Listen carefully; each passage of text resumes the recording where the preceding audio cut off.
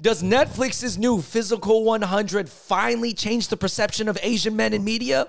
I don't know. We got to talk about it. Physical 100 is a Netflix show that is going viral right now. I believe it is number six ranked globally. Whoa. It's got a buff, uh, got a bunch of buff, chiseled Korean dudes doing challenges mixed with buff Korean women. There's a lot of drama. There's a lot of talk about will the cyclist beat the wrestler? Will the wrestler beat the bodyguard? So we got to talk about it. Make sure you like, subscribe, turn on your notifications, and let's get into the reactions, Andrew. Some people were like, oh my gosh, even in battle, these Korean warriors are so respectful to each other. We're not like that to each other in the Western world. I am amazed.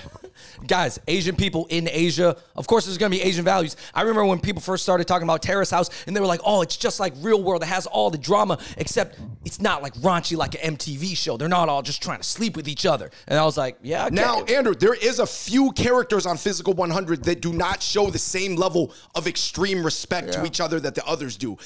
진짜 저랑 하고 싶다. 본인이 여기서 강하다. 저 어쩔까? 갑니다. 어 명치 누른다. 누르면 안 돼, 누르면 안 돼. 어, 어. 그 형은 피도는 거야.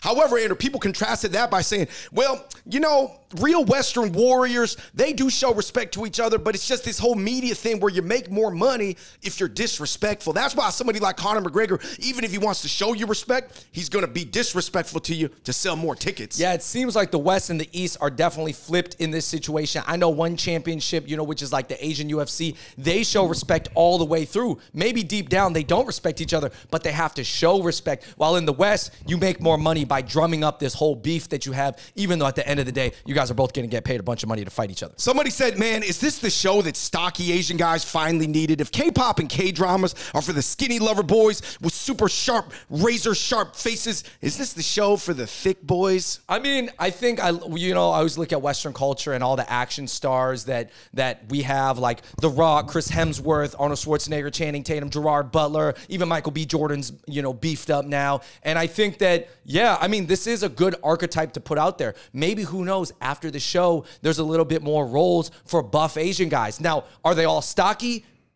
I mean, some of them are really stocky in that show, but maybe there's more like I don't know, maybe it just kind of puts them more on the map and more into people's minds so that there's more like roles for them or something like that? I actually think this weightlifter Asian guy archetype has been around even in Asia, but as well as, as in America. Bart Kwan was one of the first guys to do it for about 10 years now, but it has uh, yet to sort of breach mainstream. So this is the first time that a mainstream show with a high budget is being structured around these ultra ripped beefcake Asian dudes and girls. Hey, um, David, we had Fred. This other comment actually comes from Fred, our camera guy. He's a Gen Z, and uh, he doesn't watch that much sports, but he he said, "Oh man, after watching this show, me and my friends had to go wrestle each other. Hey, man, representation is important. I think a lot of times, you know, you need to see somebody that you feel like you grew up like, or that maybe you uh, aspirationally yeah. want to look like, or does look like you, and then it's gonna just motivate you differently. I think this show is super impactful for a lot of the Korea boos or the people who don't usually watch sports shows.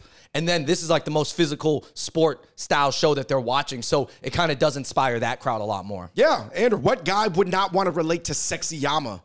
Dude. He's hot. Yeah.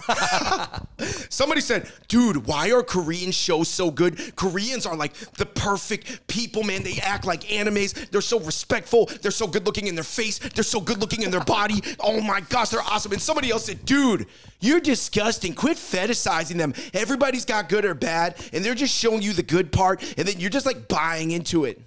All right. Uh, first of all, I think Koreans do a really good job, and I think these the producers of these shows, whether it's Squid Game or Physical 100 or any of those other Singles Inferno, they're they're getting paid a lot. Like these are great producers.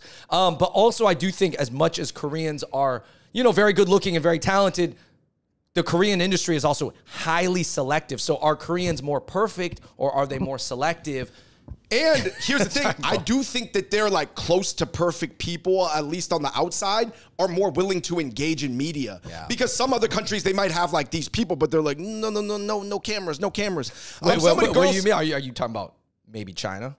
Yeah, I mean, to be honest, I think China has a lower proportion of these people, possibly on a population distribution basis, but they might not want, be willing Yeah. to engage in media anyway, or might not be like media savvy or media trained. I do feel like anybody who's considered good looking or talented in Korea is definitely looking for their shot to get put on right now because oh, I have something to offer. Maybe I can also offer it on a show. hey, you look like pretty good. So like you could probably do one of the 50 Netflix shows that like Korea is gonna produce this year. Girls said this did make me more attracted to this male archetype because I'm affected by media. Some girls have that self awareness. I mean, do you think that it's possible that mean, other people are going to be going after, you know, the beefcake dudes? Uh, I mean, I think strong men always had their appeal, uh, whether no matter how. gym girls always like gym guys. Yeah. Yeah. So obviously there's a bunch of gym girls and gym guys in this show. I mean, dude, I don't know. I mean, I yeah, I guess. Do you think it will improve the archetype of the female bodybuilder?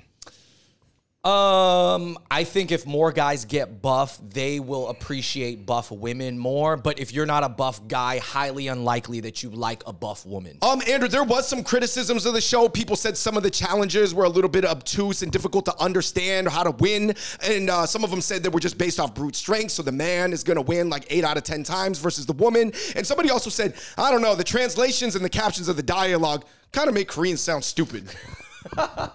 All right, so I had to obviously watch an episode of the show to understand what everybody's talking about. Um, I mean, it might be a translation thing, or it might also be a fact that you're talking to a bunch of beefcakes. You know, I'm not saying that these people are stupid by any means. I think the translation kind of makes them sound a little bit more simple. like, like, right, like somebody's running faster, like, wow, he is running fast, faster than the wind. But all right, on the flip side, if you did just do this show in America, even with just a bunch of beefcake like gym dudes, you're not gonna hear like. Most likely, you're not going to hear the highest volume of like super intelligent things, anyways. Dude, why are you serious stereotyping beefcakes as like non-poetic and non-hipsters, bro? That is such like societal like boxes, bro. Um, last comment was someone was like, "Yeah, I think if China did this show, everybody would call it propaganda." but I, I guess you know some people think that the whole K wave and Hallyu is like part of Korean propaganda to prop up the image of Koreans around the world. First of all, listen, man, if they got the people and they got the shows, they're making great entertainment. So shout out. I mean, them. all media is propaganda. Hip hop is propaganda. Everything is propaganda but it just depends on what level. And also, sometimes people embrace the propaganda. Otherwise, otherwise people go against it. Uh, Let's get into our takeaways, man. David. I'm actually happy about the show, man. I know a I'm lot of people have been asking us to talk about this so for a few weeks, and uh, I finally got my chance to like sink my teeth into it. Between shout out to Sexy Yama, shout out to Sung Bin, the um, Olympic, you know, downhill s- ice skier. skier. I mean, like it's just cool to see people with bigger, beefier bodies. Obviously, I am not on that level of ripness or body fat percentage that they have, but it was just cool to see them and have them almost have an arc and drama. And people were like, "Oh my gosh, is the cyclist going to lose to the wrestler?" Even though we thought in this challenge of pushing the boulder up the hill, the cyclist quads will like help him win more. Like that's a more interesting type of drama, right? You know what I love? I love that if it kind of increases the IQ and the knowledge base of a lot of fitness, like in America, or like to anybody watching the show, like if it is informative, you know, and I think there is a little bit of talk, although I wouldn't say they dive into the science of why someone won, right? Because maybe that's very assumptive. But like, you know, there is more talk about stability, core strength. Oh, like the, the really buff Yeah. guy with all the bulky muscles lost to a guy that was slimmer Right. in something that he looked like he should have won. Exactly. Si- Like what's rock climbing strength versus just brute strength, and the guy who